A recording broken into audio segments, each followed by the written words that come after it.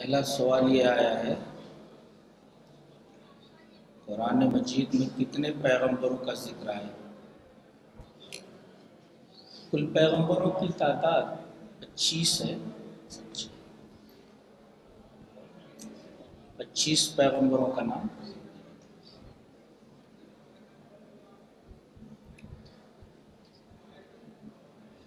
دوسرا سوال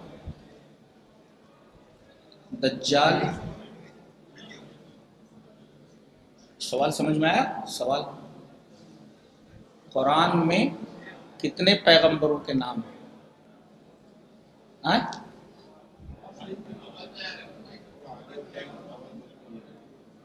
ایسا۔ قریب کرنا۔ نہیں نہیں۔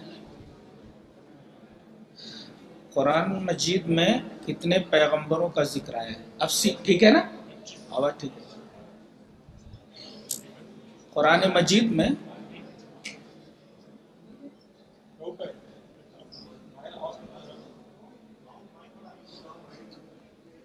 پچیس پیغمبروں کا ذکر ہے، نام بنا۔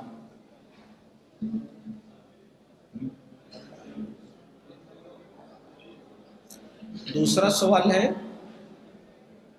دجال، عیسیٰ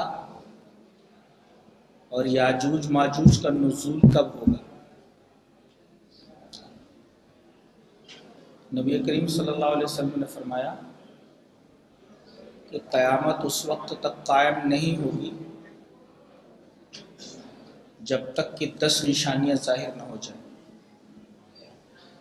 یہ تینوں چیزیں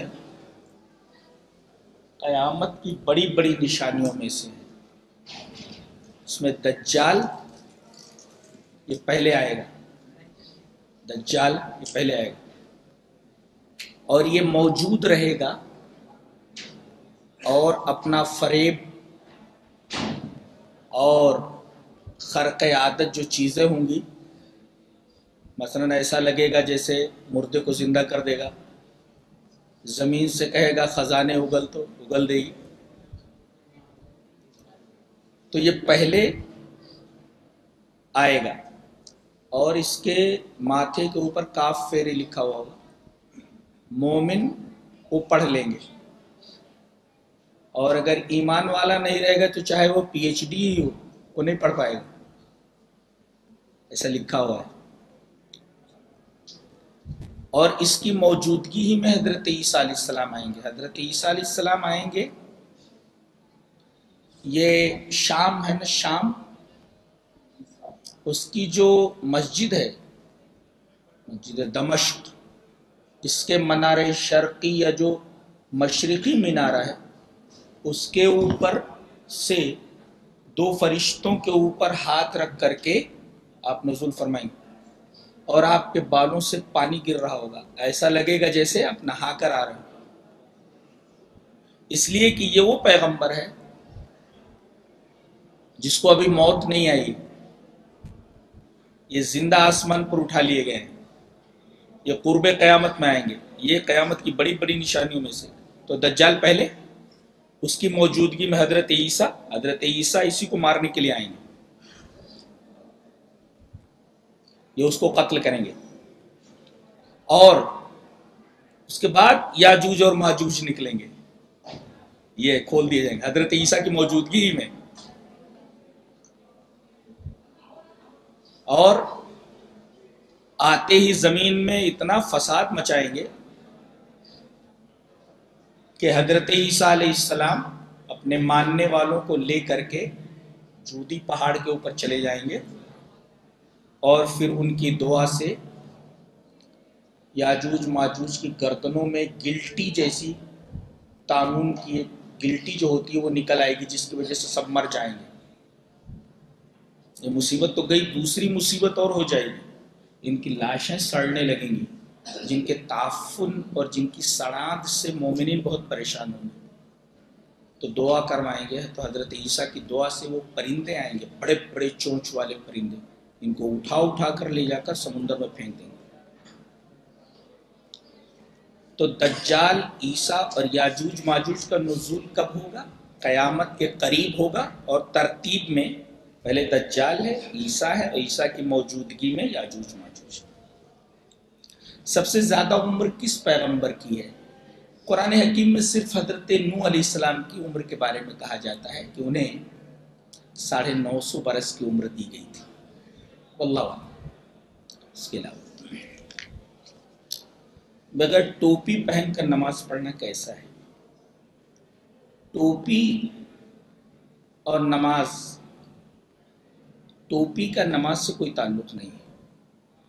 یعنی جیسے شرعی تعلق کہتے ہیں کہ بھائی بغیر ٹوپی کے نماز نہیں ہوتی، یا اس طریقے کا عقیدہ یہ صحیح نہیں دلیل اس کی ہے کہ نبی کریم صلی اللہ علیہ وسلم نے ارشاد فرمایا کہ کسی بھی لڑکی کی، کسی بھی عورت کی نماز اس وقت تک نہیں ہوتی جب تک کہ اس کے سر کے اوپر دوپٹہ نہ ہو۔ لا صلاة لحائز الا بخمار۔ لا صلاة لحائز الا بخمار۔ کسی عورت کی نماز اس وقت تک نہیں ہوتی جب تک کہ اس کے سر کے اوپر دوپٹہ نہ ہو۔ اگر اس کے بال کھلے ہوئے ہیں تو نماز نہیں۔ دوپٹہ ضروری ہے اور موٹا دوپٹہ ضروری ہے۔ پتلا دوپٹہ نہیں جیسا آج کل چل رہا ہے۔ اور آج کل دوپٹہ سر کے اوپر کہاں رکھا جاتا ہے؟ تو پتہ نہیں کہاں کہاں رکھتے۔ تو نبی کریم صلی اللہ علیہ وسلم نے فرما دیا کہ بغیر دوپٹے کے عورت کی نماز نہیں ہوتی، برابر؟ مرد کے بارے میں یہ فرمایا کہ مرد کی نماز بغیر کندھا ڈھکے نہیں ہوتی۔ گویا نماز میں مرد کا جو سطر ہے وہ اتنا ہے، ناف سے لے کر گھٹنوں تک، یہ، ہو گیا؟ یہ یہ اس کا سطر ہے۔ اور نماز میں ایک چیز بڑھ جاتی ہے، سطر یہی ہے اس کا۔ ناف سے لے کر گھٹنے تک یہ ڈھکا ہوا ہونا چاہیے برابر نماز میں ایک بڑھ جائے گا یہ آدمی کا کندھا اگر ڈھکا ہوا نہ ہو سینڈو بنیان پہن کر آپ نماز نہیں پڑھ سکتے نماز جائز نہیں یہ ڈھکا ہوا ہونا چاہیے تو نبی کریم صلی اللہ علیہ وسلم نے فرما دیا کہ عورت کا سر ڈھکا ہوا ہو بغیر سر ڈھکے نماز نہیں ہوگی اور مرد کا کندھا ڈھکا ہو ٹوپی کے بارے میں مرد کا سر ڈھکا ہوا ہو ایسی کہیں کوئی روایت موجود نہیں ہے اور نبی کریم صلی اللہ علیہ وسلم نے اس سلسلے میں کچھ بات نہیں کہی عورت کے بارے میں آپ نے فرما دیا، مرد کے بارے میں آپ نے کیوں نہیں فرمایا؟ اس کا مطلب یہ ہوا نہ فرمانا ہی اس بات کی دلیل ہے کہ مرد کا سر ڈھکا ہوا ہو یا ڈھکا ہوا ہو نہ ہو، کوئی فرق نہیں پڑتا ہے۔ لہذا نماز کا، نماز کے ساتھ ٹوپی کا کوئی شرعی تعلق نہیں۔ قربانی کے اوقات میں جانور ذبح کرتے وقت سب لوگ مل کر تکبیر پڑھ سکتے ہیں۔ کیا وضاحت کر کے بتائیں؟ نہیں، بلکہ یہ ایک طریقے کی بدعت ہوگی۔ بلکہ صحیح طریقہ یہ ہے کہ بسم اللہ اللہ اکبر کہہ کر کے بعض لوگوں نے کہا ہے کہ وہ جو دعا پڑھی جاتی ہے، انی وجہ تو وجہ اس پر ابھی بھی اہل حدیث، علماء کے ابھی سوالات و جوابات چل رہے ہیں۔ بعض لوگ کہتے ہیں کہ وہ حدیث ضعیف ہے اور بعض لوگ کہتے ہیں صحیح ہے۔ لہذا ابھی تک نکھر کر کے کوئی بات نہیں آئی۔ ابھی تک میرے مطالعے میں یہ بات آئی ہے۔ مولانا نے لکھا تھا، مولانا جعفر المدنی نے کہ یہ حدیث صحیح نہیں ہے۔ اور اس کے اوپر جو ہے، ان کا استدراک آیا، جواب آیا کہ انہوں نے جو کہا یہ حدیث ضعیف ہے، ضعیف کہنا صحیح نہیں ہے۔ تو ابھی یہ حدیث مختلف فی ہے۔ لہذا اگر کوئی آدمی بسم اللہ اللہ اکبر کہہ کر کے کاٹ دے اور یہ بول دے کہ یہ جو قربانی ہے، اردو ہی میں بول دے، یہ قربانی میرے اور میرے گھر والوں کی طرف سے، بس بسم اللہ اللہ اکبر کہہ دے۔ یہ جو ایک ساتھ مل کر کے تکبیر پڑھتے ہیں قربانی کے وقت، اس کا کوئی ثبوت نہیں ہے۔ اس سے بچنا چاہیے۔ اس لیے کہ بدعتیں یہ معمولی معمولی چیزوں ہی سے اٹھتی ہیں۔ پھر وہ آگے چل کر کے بہت بڑی ہو جاتی ہے، پھر وہ ایک شریعت کی شکل لے لیتی ہیں۔ لہذا بچنا چاہیے اس سے۔ قربانی کے بکرے اور بیل یا اونٹ کی عمر کتنی شرط ہے؟ وضاحت فرمائے۔ ہمارے ہاں کے امام کہتے ہیں کہ دو سال کا ہونا ضروری ہے۔ دیکھیے، الگ الگ وہ ہے، اس کے قربانی کے جو جانور ہیں، مسن نہ ہونا چاہیے۔ اس کے لیے شرط بس اتنی ڈانٹا ہونا چاہیے۔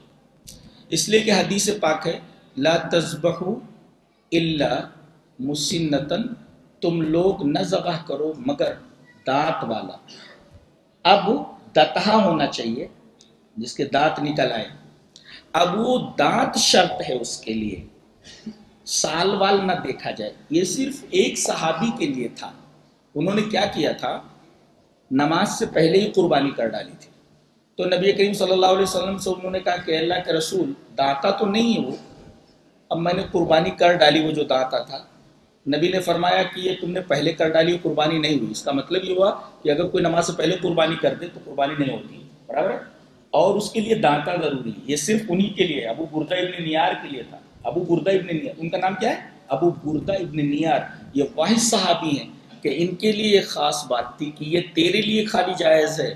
ہاں؟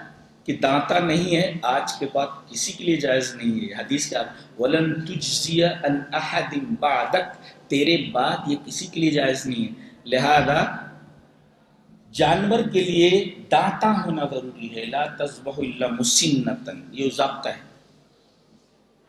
داڑھی چھیلنا یا کاٹنا کیسا ہے؟ دونوں جائز نہیں۔ داڑھی کو چھوڑ دینا چاہیے۔ اب کوئی ندوی صاحب، کوئی قاسمی صاحب اور کوئی پیر صاحب، کوئی ملا صاحب اگر ایسی حرکت کرتے ہیں تو اس کے جواب دے وہ خود ہیں۔ حدیث اپنی جگہ موجود ہے۔ چھوڑ دینا چاہیے اس میں۔ جیسے قربانی نے بڑے جانور پر سات حصے ہوتے ہیں، ویسے عقیقے میں کتنے حصے ہوتے ہیں؟ یہ صحیح نہیں ہے۔ قربانی کو عقیقے کے اوپر قیاس نہیں کیا جا سکتا۔ قربانی میں سات حصے ہو سکتے ہیں، مگر عقیقے میں سات حصے نہیں ہو سکتے۔ اس لیے کہ عقیقے میں ضابطہ ہے جان کے بدلے جان۔ اب ظاہر ہے کہ اگر ایک آدمی کی طرف سے وہ ذبح ہو گیا، تو بقیہ جو چھ حصے ہیں وہ جان نہیں ہے اور یہاں جان کے بدلے جان ہونا چاہیے۔ اس لیے کہ قربانی جو کی گئی ہے، وہ حضرت اسماعیل علیہ السلام جو جان کے بدلے میں ڈھا آیا تھا نا، جان کے بدلے جان۔ لہذا جان کے بدلے جان ضابطہ ہے، ایک قربانی کے جانور میں سات عقیقے نہیں ہو سکتے، درست نہیں ہے، عقیقہ نہیں ہوگا۔ السلام علیکم۔ علیکم السلام۔ تہتر فرقوں میں سے کون سا فرقہ جنت میں جائے گا؟ حدیث موجود ہے، وہ آج میں نے پڑھنا چاہا تھا پڑھ نہیں سکا چلو وہ حدیث پڑھ دیتا ہوں۔ وعن عبداللہ ابن عمر رضی اللہ تعالیٰ قال قال رسول اللہ صلی اللہ علیہ وسلم لياتين على امتي ما تعالى بني اسرائيل حد والنال بالنال حتى ان كان منهم من اتى امه ولانيه لكان في امتي من يصنع ذلك. وان بني اسرائيل تفرقت على سنتين وسبعين مله وتفترق امتي على ثلاث وسبعين مله كلهم في النار الا مله واحده قالوا من يا رسول الله؟ قال ما انا واصحابي نبی نے فرمایا کہ میری امت بنی اسرائیل بہتر فرقوں میں بٹ گئے، میری امت تہتر فرقوں میں بڑھ جائے گی. سارے فرقے جہنمی ہوں گے، سوائے ایک فرقے کے.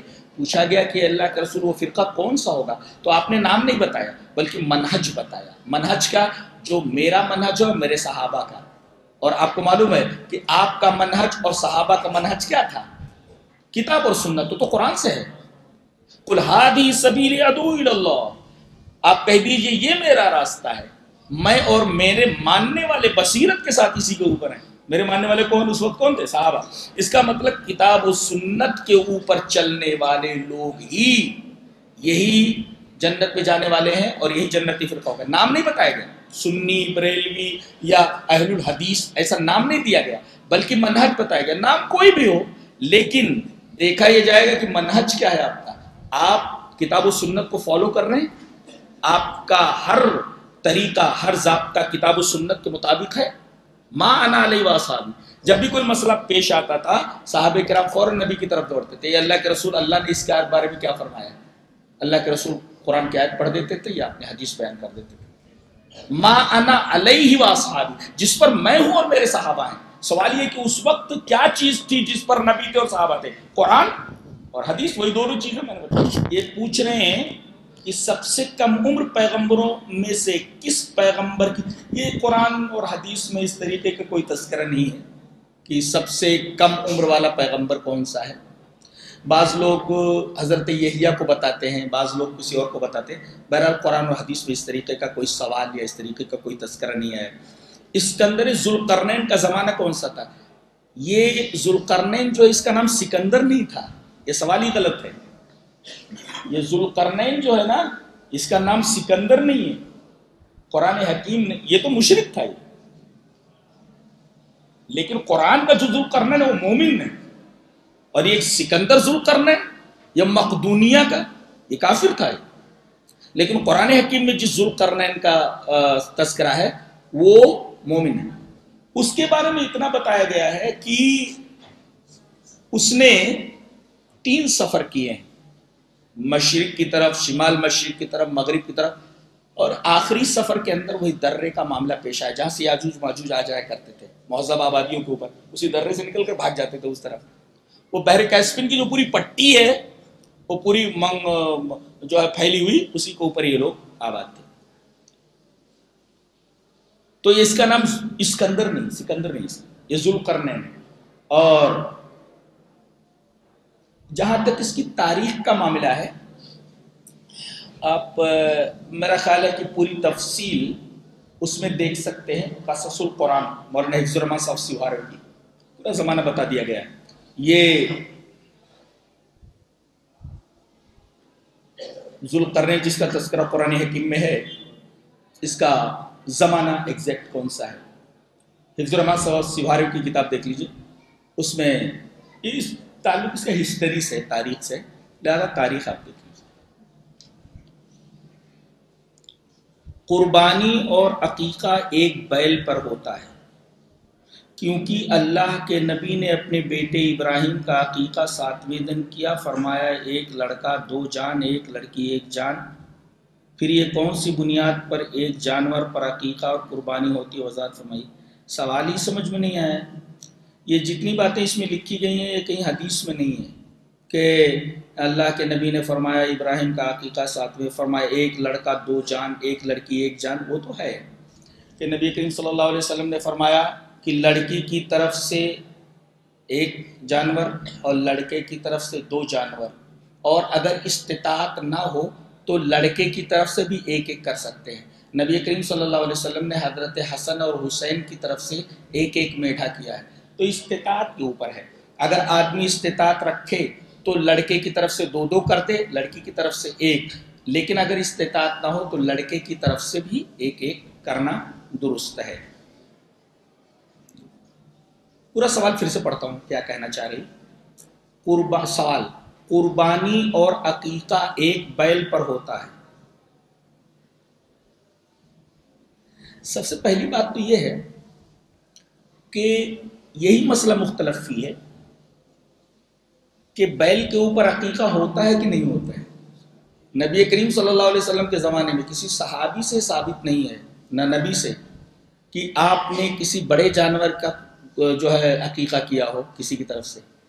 مثلا اونٹ کا عقیقہ اسی طریقے سے بیل کا عقیقہ گائے کا عقیقہ اور تمام چیزوں کا عقیقہ نہیں آپ سے صرف میڈھا، میڈھی، اسی طریقے سے وہ جو جو جانور ہوتا ہے میڈھا میڈھا وغیرہ، اور بھیڑ بھیڑ اور بکرا بکری، یہ چھوٹے جانور ہی ثابت ہیں۔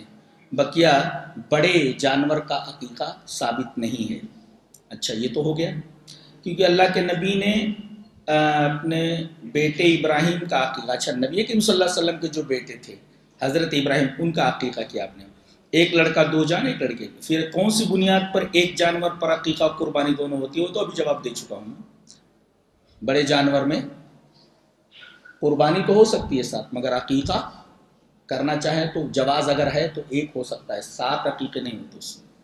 مسجد کا امام جو سردار جماعت بھی کہلاتا ہے، اس کے اندر بہت ساری خامیاں ہیں۔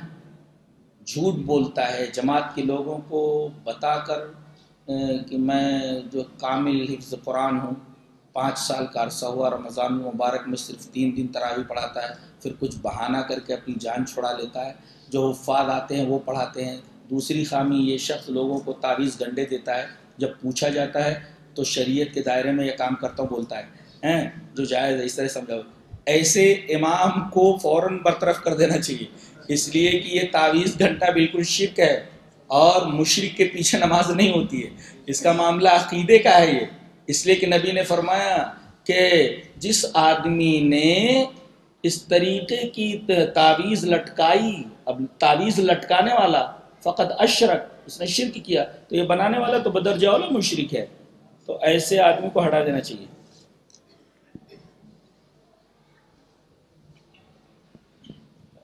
دیکھیے کہہ رہے ہیں کہ شیخ، سلام، یہ لفظ صحیح ہے یا پھر السلام علیکم، یہ لفظ صحیح ہے۔ وضاحت کیجیے۔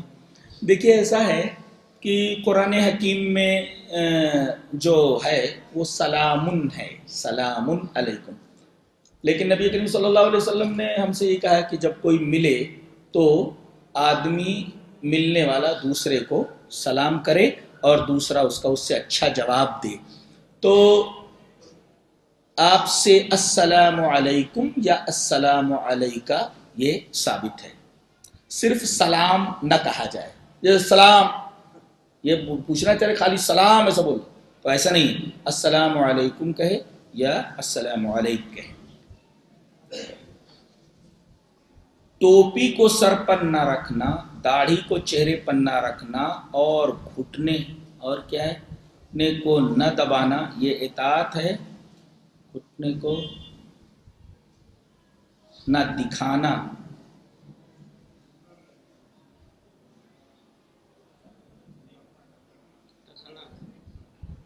ٹکنے کو نہ دکھانا۔ نہیں، ٹکنے کو بولو تو؟ نہیں، نبی کریم صلی اللہ علیہ وسلم نے فرمایا کہ اللہ اس کی طرف نظر رحمت سے نہیں دیکھے گا، جو اپنے اظہار کو لٹکائے پھرتا ہے اور ٹخنے سے نیچے ہو جاتا ہے۔ ٹخنے کو نہیں چھپانا چاہیے۔ ہیں اور ٹوپی کو سر پر نہ رکھنا۔ ٹوپی کو ابھی بتایا میں نے نا کہ بھئی ایک چیز ہوتی ہے شریعت اور ایک چیز ہوتی ہے اسلام میں اس کی اجازت، یا اسی طریقے سے اگر کر لے تو کوئی حرج نہیں ہے۔ اب ایک چیز کی اجازت ہو جائے کہ بھئی آدمی چاہے تو کر لے، اس کو ضروری نہ قرار دیا جائے۔ کوئی آدمی اگر بغیر ٹوپی کے بھی پڑھ رہا ہے تو آپ اس کے اوپر شدت مت برتی کوئی آدمی اگر ٹوپی کے ساتھ پڑھ رہا ہے تو آپ اس کے ساتھ زیادتی مت کیجیے۔ کوئی آدمی امامہ باندھ لے رہا ہے اوپر سے تو اس کے اوپر آپ نکیر مت کیجیے اچھی بات ہے۔ تو اس کے اوپر سختی نہیں کرنی چاہیے۔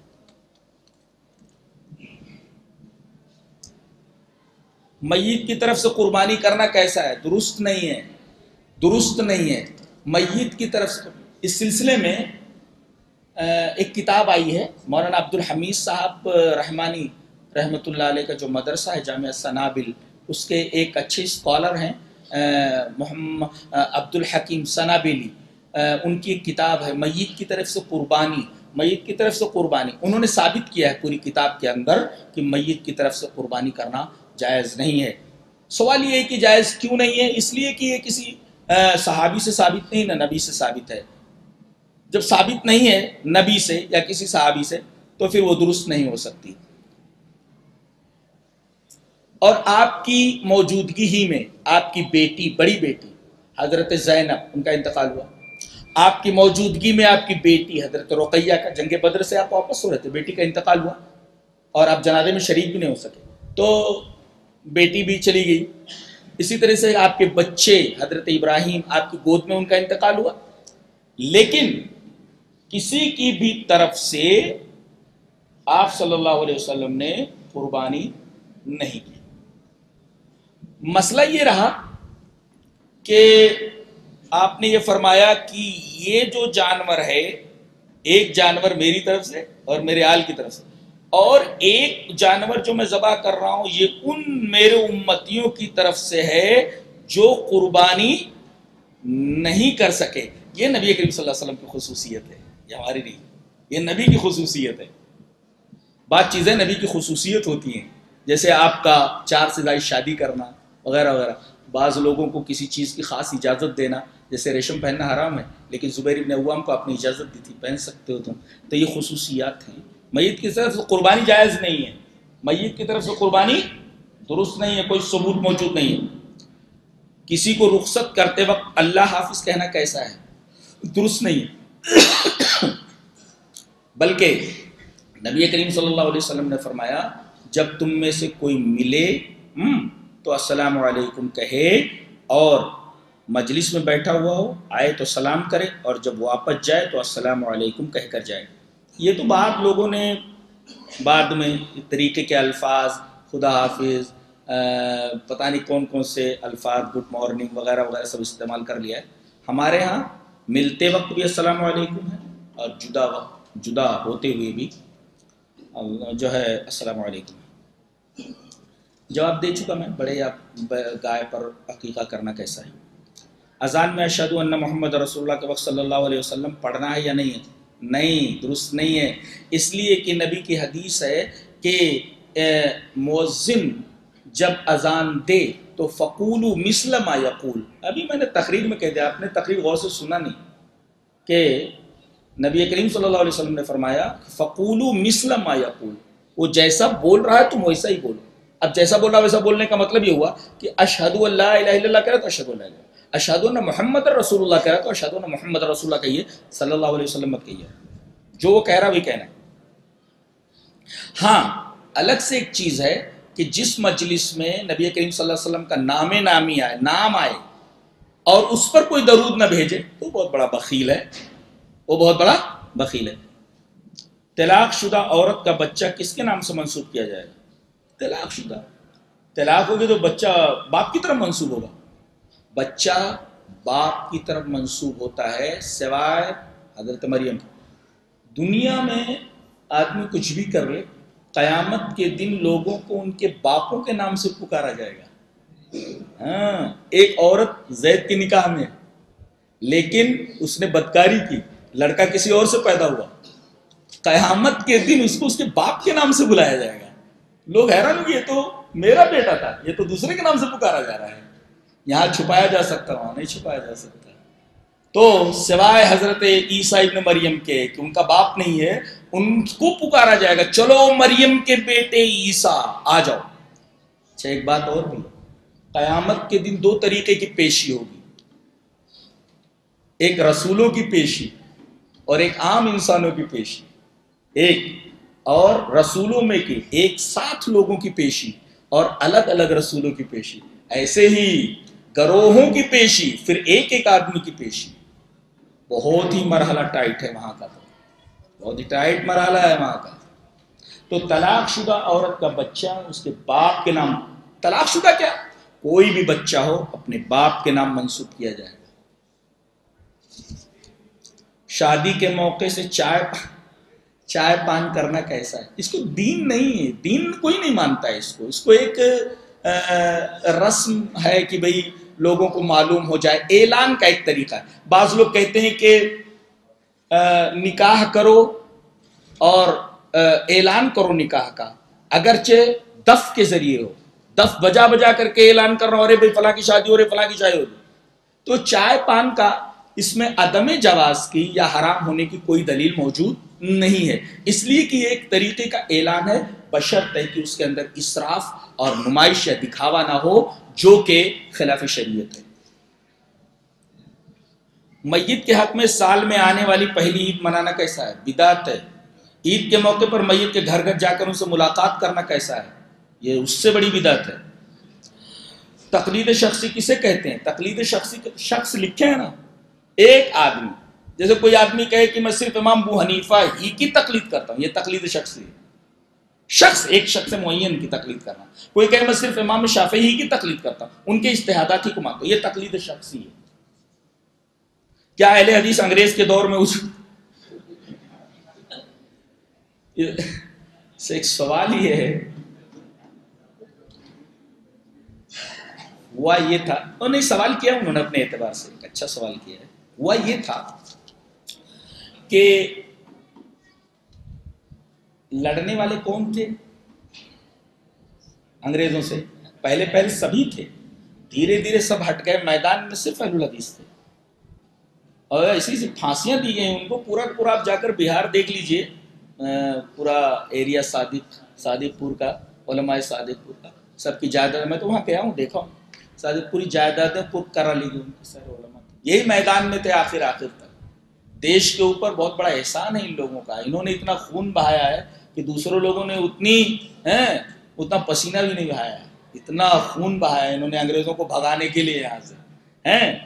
تو ہوا یہ کہ بھئی یہ کون لوگ ہیں؟ تو یاروں نے بیچ میں پن کر دیا کہ یہ وہی لوگ ہیں جو سینے پر ہاتھ باندھتے ہیں رف الیدین کرتے ہیں۔ دیگر لوگ تو چھپ جاتے ہیں۔ بھائی جہاں وہ بھی وہیں نیچے بات رہا، وہ بھی نیچے بات رہا۔ ہے وہ رفو لیتے نہیں کر رہا، وہ بھی رفو وہ بچ جا رہے تھے۔ اب یہ تو نمایاں طور پر بھائی سینے پر ہاتھ باندھے ہوئے ہو۔ رفو لیتے کرا بولے یہی ہے بدماش ہے، یہی ضرورت تو اٹھا اٹھا کر کے ان کو سولی دی جانے لگی۔ تو اس وقت مولانا محمد حسین بٹالوی رحمۃ اللہ علیہ زندہ تھے۔ انہوں نے یہ دیکھا کہ ارے، اس طریقے سے اہل سارے اہل حدیث اگر پھانسی ان کو دے دی گئی، پکڑ لیے گئے، تب تو کوئی بھی توحید کا ماننے والا نہیں رہ جائے۔ ایسے ہی وہ دعا تھی نبی کی کہ اللہ، آج یہ جو جماعت موجود ہے تین سو تیرہ کی، اگر جان مار دی گئی تو قیامت تک اس روئے زمین کے اوپر تیرا نام لیوا باقی نہیں رہے گا۔ تو محمد حسین بٹالوی نے دیکھا کہ چن چن کر کے ایسے لوگوں کو پکڑا جا رہا ہے۔ تو انہوں نے ایک اپیل دائر کی۔ اپیل یہ دائر کی کہ بھئی ہمارا نام وہابی کہہ کر کے سب پکڑا جا رہا ہے۔ وہابی نام رکھ دیا گیا کہ ان کا نام وہابی ہے اور یہ جو ایسا کرتے ہیں رف الدین وغیرہ، یہ تو انہوں نے کہا کہ ہم لوگ اہل الحدیث ہیں، ہم کو اہل الحدیث کے نام سے پکارا جائے۔ تو انہوں نے نام کو بنوایا نہیں انگریز سے، نام منوایا، یہ نام پہلے سے۔ یاد رکھیں گے آپ؟ اہل الحدیث نام منوایا، بنوایا نہیں۔ یہ تو پہلے سے بنا ہوا تھا۔ لہٰذا ان کی اپیل دیکھیے، ان لوگوں کی، کہ بھائی ہم اہل الحدیث ہیں، ہم کو اہل الحدیث کے نام سے جانا جائے۔ ہم نہیں جانتے وہابی کون ہے۔ ہم نہیں جانتے وہابی کون ہے۔ اور اہل حدیثوں کو اپنے آپ کو وہابی نہیں کہنا چاہیے۔ ہم ہم نہیں جانتے وہابی کیا ہے۔ اگر یہ اللہ کی طرف منصوب ہے، وہاب کی طرف تو ٹھیک ہے۔ لیکن اگر یہ مولانا عبد الوہاب محمد ابن عبد الوہاب نجدی کی طرف ہے، تب بھی غلط ہے۔ اس لیے کہ ان کا نام تو محمد ہے اور ان کے باپ کا نام عبد الوہاب ہے، تو عبد الوہابی ہونا چاہیے۔ یہ خالی وہاب کا کیا مطلب ہے؟ آج تک اس نام کا مفہوم میری سمجھ میں نہیں آیا۔ یہ کہیں تو بھی کچھ لیکیج ہے اور کہیں تو کسی بھائی نے، کسی آدمی نے اس طریقے سے اہل حدیثوں کو یہ لقب دے دیا ہے جس لقب کا پتہ نہیں چلا کہ یہ کدھر سے آیا ہے۔ غالباً یہ کوئی انگریز چال تھی۔ تو انگریز زمانے میں ایسا کرنے کے لیے حضرت محمد حسین بٹالوی نے اس نام کو منوایا منوایا نہیں۔ اہل الحدیث اپنے آپ کو اہل سنت کی کہتے ہیں۔ میں ایک بات بولتا ہوں۔ مسواک کرنا کیا ہے؟ سنت ہے نا؟ اس کو کہاں دیکھیں گے آپ؟ نبی کریم صلی اللہ علیہ وسلم مسواک کرتے تھے۔ کہاں دیکھیں گے آپ؟ حدیث میں نا۔ تو سنت کو اگر دیکھنا ہے تو کہاں دیکھیں گے آپ؟ حدیث میں اس کے علاوہ کوئی ذریعہ نہیں اپنے نبی کو دیکھا کرتے ہوئے۔ آپ کا ہر عمل حدیث میں ملے گا۔ سنتیں جتنی وہ سب حدیث میں ملیں گی۔ اور کوئی ذریعہ ہی نہیں۔ بخار کو آپ کہاں دکھائیں گے؟ بدن میں کیا الگ سے بخار دکھتا ہے؟ اس کا مطلب یہ ہوا کہ اہل حدیث اگر کہہ دیے تو اہل سنت ہو گئے، اس لیے کہ اہل نبی کے ہر سنت کو حدیث میں دکھایا جائے میں ایک بات بولتا ہوں ترمیدی شریف کس فن میں؟ کیا ہے اس میں لکھا سنن ترمیزی یعنی نبی کی سنتیں ہیں اور سب حدیثیں ہیں۔ سنن ابی داؤد۔ ابو داؤد میں سنتیں ہیں، ساری حدیثیں موجود ہیں۔ اس کا مطلب یہ ہے کہ نبی کی سنتوں کو حدیث میں دکھایا جاتا ہے۔ اب اہل الحدیث بول دے تو اہل سنت تو خود بخود داخل ہو گئے کہ اہل الحدیث، حدیث میں جو سنتیں ہیں، اہل الحدیث اگر ہیں تو اہل سنت بھی ہوں اس لیے سنتیں حدیث میں پائی جاتی ہیں۔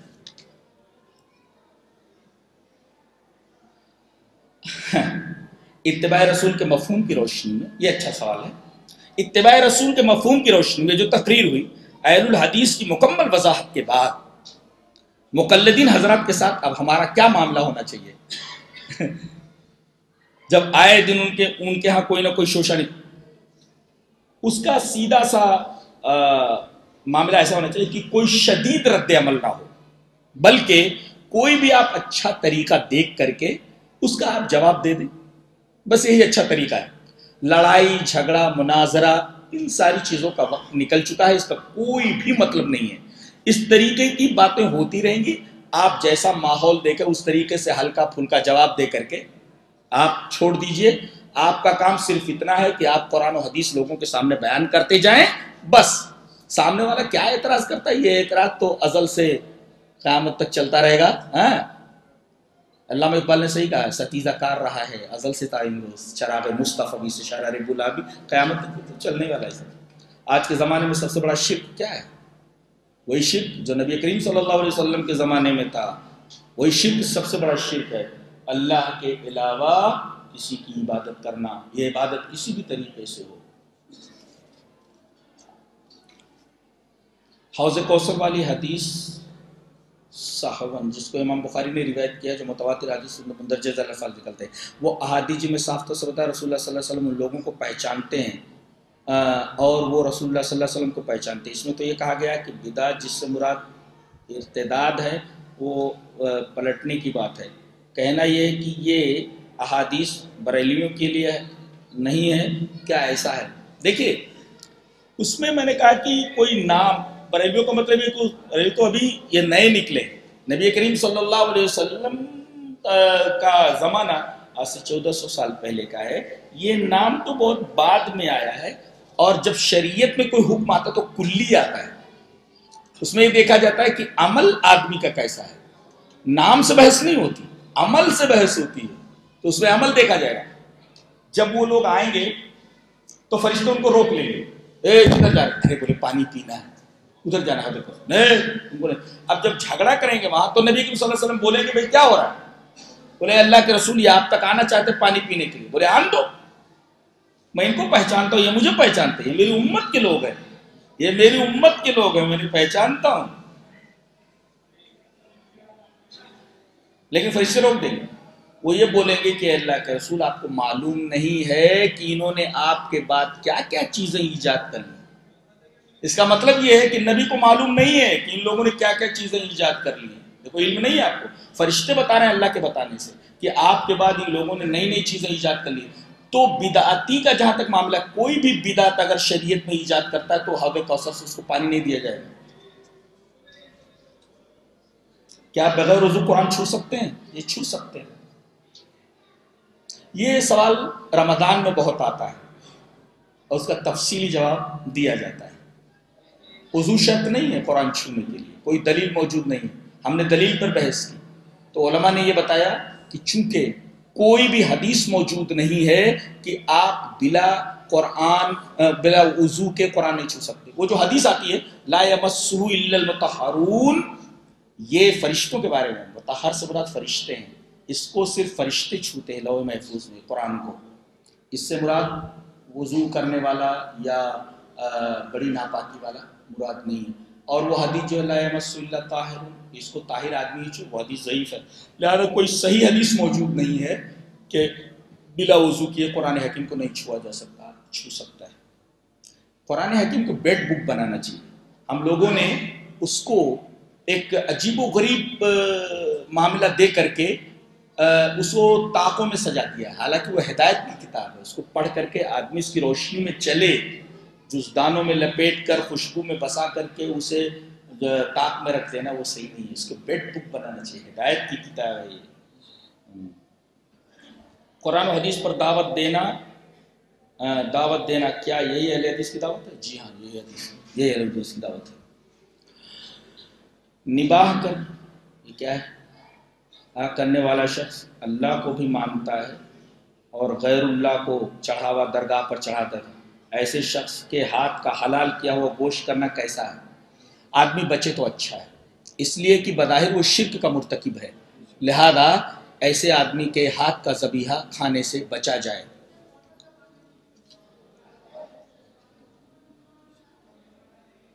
کعبہ شریف میں بیس رکعت پڑھی جاتی ہے۔ اول تو وہاں دو امام ہوتے ہیں۔ دو امام، اس طریقے سے یہاں بھی آپ پڑھ سکتے ہیں، ایسا کچھ بھی نہیں۔ اگر آپ بیس رکعت پڑھنا چاہیں اس طریقے سے تو آپ پڑھ سکتے ہیں۔ جیسے محلے کے لوگ ہیں، چار پانچ لوگ آ گئے ایک امام نے پڑھا دیا، آٹھ رکعت چلا گیا۔ پھر اس کے بعد وہ بازار والے آ رہے ہیں، کوئی دوسرا امام پڑھا دے رہا ان لوگوں کو پڑھ سکتے ہیں آپ۔ وہ حرم کا معاملہ ہے، حرمین کا۔ وہ رات بھر چلتا رہتا معاملہ۔ اور اب تو کچھ احباب نے یہ بتایا کہ معاملہ یہ چل رہا ہے کہ جیسے چار مسلح تھے، دھیرے دھیرے ختم کر دیے گئے۔ اور چار مسلوں کی بدعت بہت دنوں تک چلی۔ اگر امام شافعی کا ماننے والے وہ نماز پڑھ رہے ہیں تو سب بیٹھے رہتے تھے، دوسرے مسلح والے۔ پھر مالکی پڑھ رہا ہے تو دوسرے لوگ بیٹھے رہتے۔ یہ بہت بڑا مسئلہ تھا، اس کو ختم کیا گیا۔ اب اس کے ختم کرنے کی بھی بات چل رہی ہے۔ یہ ختم کرنے کی بات چل رہی ہے؟ جی۔ سوال، اگر کسی جگہ دو مسلم کے گھر ہیں، وہاں مسجد قائم کی گئی ہے، وہاں پنج وقتہ نماز ادا تو کیا اس مسجد میں جمعہ ہو سکتی ہے؟ جی ہاں بالکل ہو سکتی ہے۔ وہاں مسجد اطراف کے پندرہ سے بیس لوگ جمعہ کو آتے ہیں۔ بالکل آ سکتے کوئی بھی ہو اگر دو آدمی بھی ہیں تو آدمی جمعہ کی نماز قائم کرے گا السلام علیکم۔